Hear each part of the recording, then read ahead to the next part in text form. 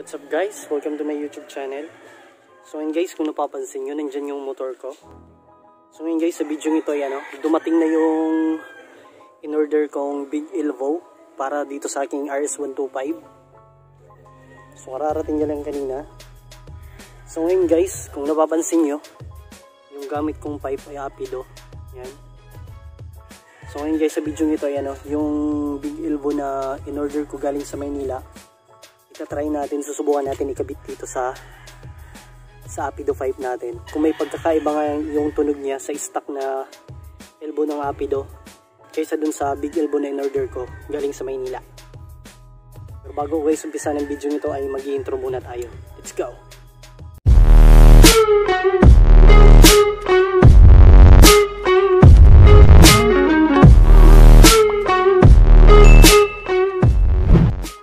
Guys ang order kong big labo. Yan tingnan nyo naman. Napakalaki niya. Malaki talaga siya kaysa stock. Tapos ito yung ano.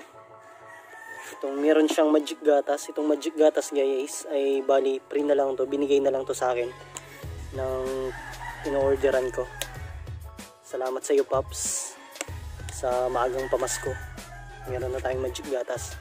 Mamaya susubukan din natin tong magic gatas dyan sa ating RS125 And guys, titingnan muna natin kung kung anong pagkakaiba talaga nila. So yan, tingnan nyo guys. Tingnan nyo naman guys kung pagkakaiba nila. Napakalaki ng pagkakaiba ng stock na elbow ng Apido kaysa sa big elbow na in-order natin. So, mamaya guys, kakabit na natin to. So ito po guys, meron pa siyang kasamang ano, salik tapos meron siyang meron pa din siyang kasamang gas ano pipe gasket. Yan lang. So yun guys. Tanggalin na natin tong ano tong stock na elbow ng apido. Yan madali lang naman yan. Tapos ikabit na natin tong big elbow natin. Let's go. few minutes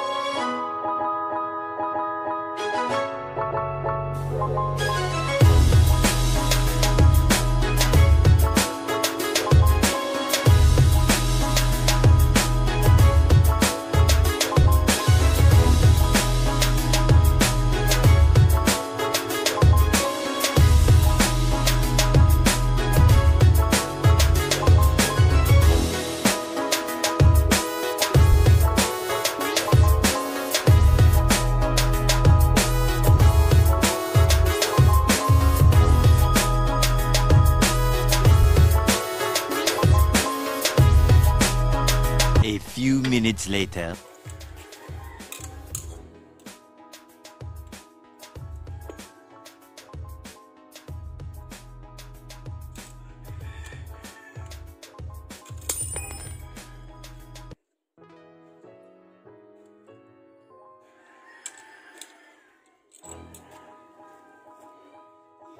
Guys, natanggal na natin yung ano, yung Rapido 5 natin, yung sa ating RS125. Yan. So paglapit natin yung dalawa. So yan, tingnan nyo naman guys ang pagkakaiba ng dalawa. Malaki talaga to. Kaya nga big. So, excited na ako guys na maikabit siya.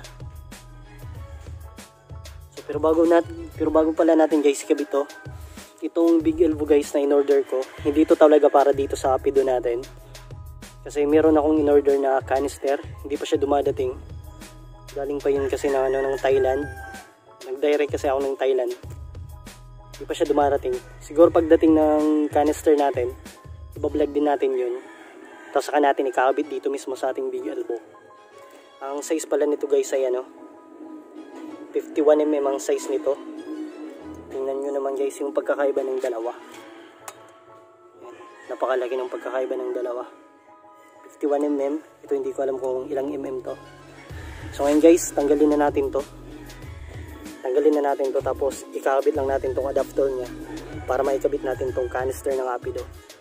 Let's go.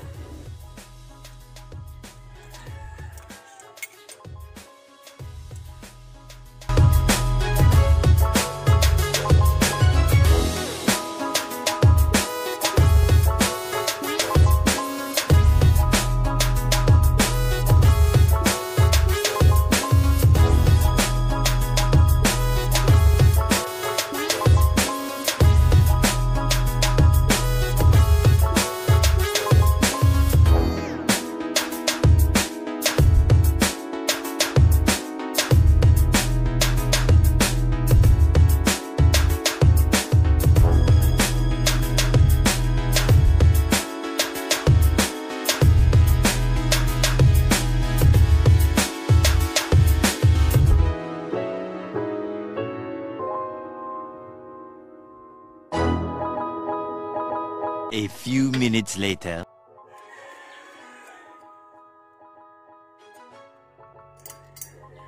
So ito guys, tanggal na. Yan. So natanggal na natin yung canister. So yan guys, ikakabit na muna natin yung ano, yung big elbow natin. Dahil nga, mahirap na kapag naikabit na natin yung elbow doon. Kasi wala tayong magandang tools. Wala tayong magandang ginagamit. Ito lang yung ginagamit natin. Kaya kakabit muna natin yung ano, yung big elbow dito. Yung adapter niya. Bago natin ikabit doon para hindi tayo mahirapan.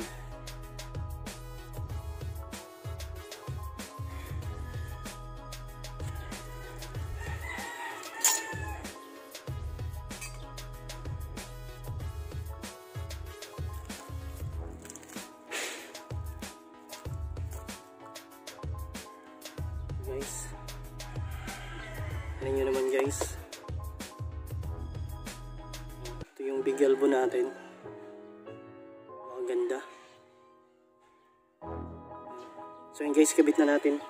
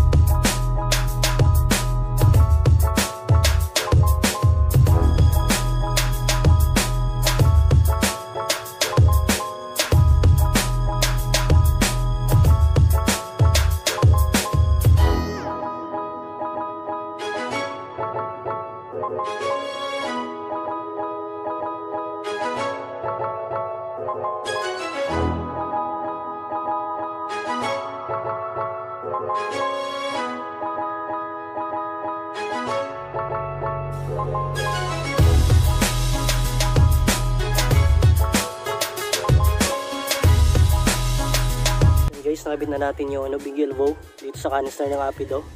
So ngayon guys, ikabit na natin yung ikabit na muna natin yung ito dun sa ano, sa may head.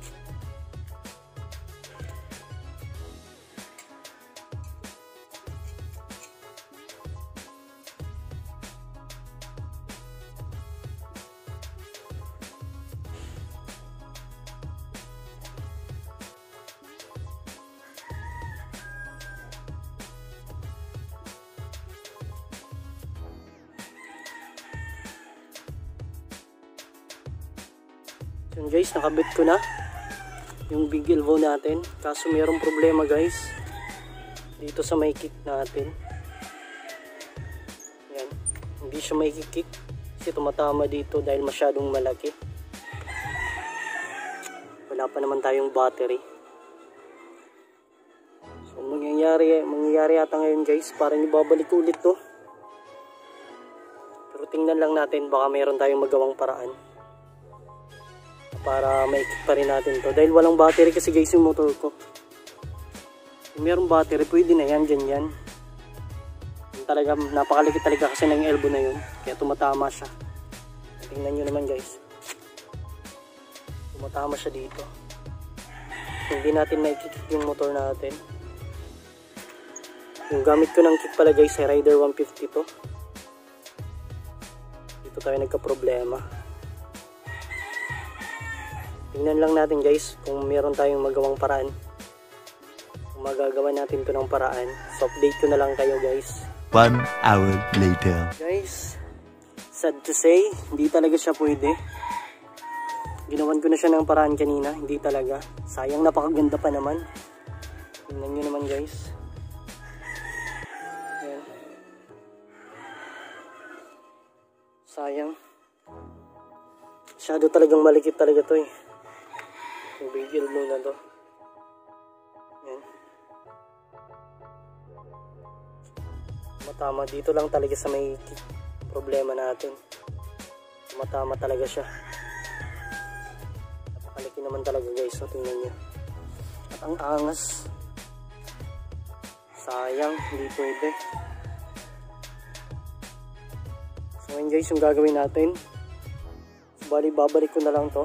Itong stock na elbow ng ano, ng Apido. Hindi nga pwede. Wala tayong battery. Siguro gagawin natin, bibili na lang tayo ng battery. Saka natin ikakabit to. Yan. Yan nyo na guys. So update ko na lang kayo guys kung naibalik ko na to. Ang stock na canister. Itong stock na elbow ng Apido.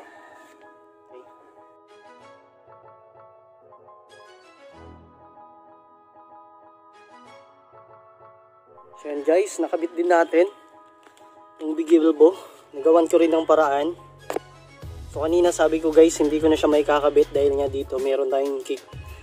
Dahil kailangan natin ng battery. Pero ngayon nakabit ko na siya guys. Tingnan nyo. So nagawan din natin ang paraan. So ngayon guys, isa-sound check natin siya. So ginawa ko lang pala guys na yan. oh.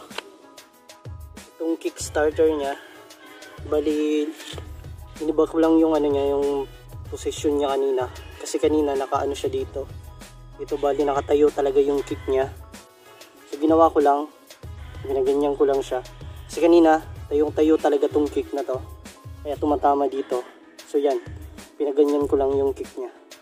So hindi na siya tumatama. Okay na guys. Nagawan din siya ng paraan. Yan. So ngayon, isa-sound check natin siya guys. Para marinig nyo yung tunog niya. Napagiwag ah. Tawag yung kabutso.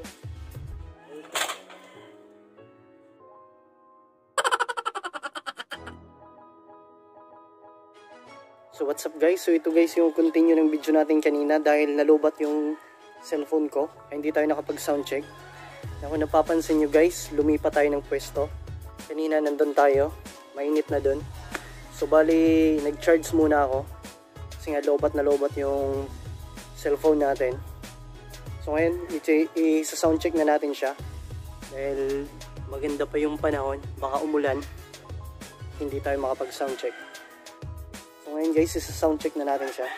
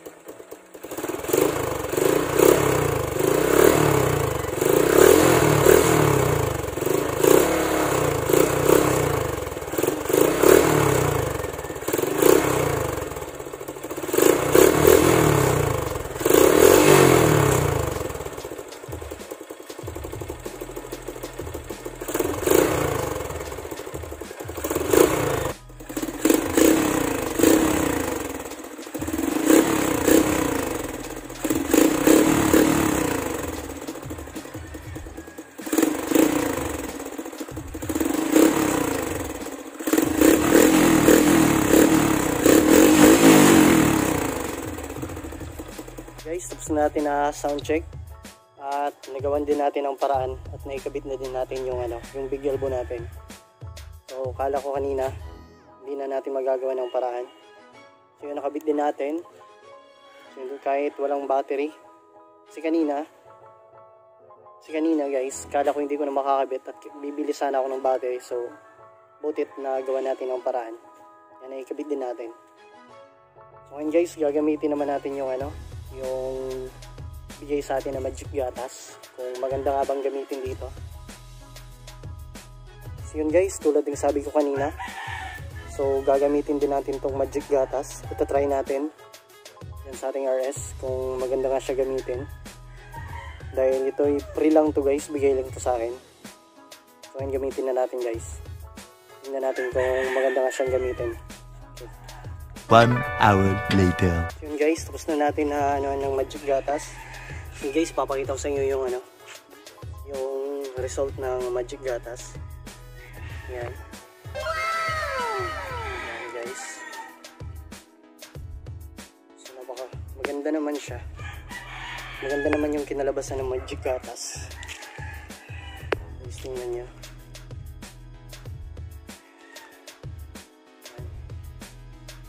Free lang siya. Salamat sa iyo Paps sa maagang pamasko. So ngayon guys, bibigyan ko kayo ng ano, bibigyan ko kayo ng munting montage dito sa aking motor. Let's go.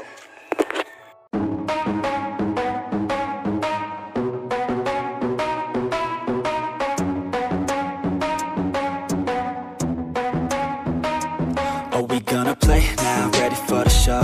I'm about to take down, you already know. Get the fuck out of my face now, yeah you gotta go. Man, I'm on the chase now, leave me on my own. I got a chance to break now, here I fucking go. Take control of fate now, I control my flow. And I know that I'll be great, how putting on a show. I know that I'ma stay loud, drowning out the noise. The haters always thinking that they could fucking break me. They're better off eating their own words like pastries. Hate me, find some fucking safety. I'm coming in hot like a bad bitch in pasties They can't save me, no I ain't lazy, no But society has me going so crazy, yo Don't blame me, no my mind's hazy, yo And I'm sick of me feeling this way daily. I'll always live my life till it's over. And I will not forgive those who hold me down. And I will never give up,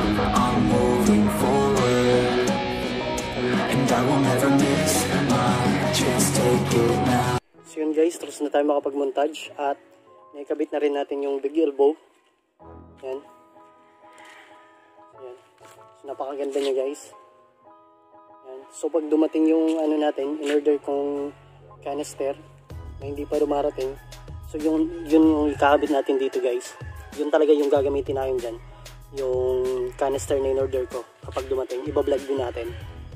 Yan pansamantala yung apido pipe muna natin yung ilalagay natin dyan. Dahil hindi pa dumadating yung order kong canister. Yun guys. So hanggang dito lang guys ang video natin ngayon. At kung nagustuhan yung video natin ngayon guys ay please like and share. At hanggang sa susunod kong video guys kita kits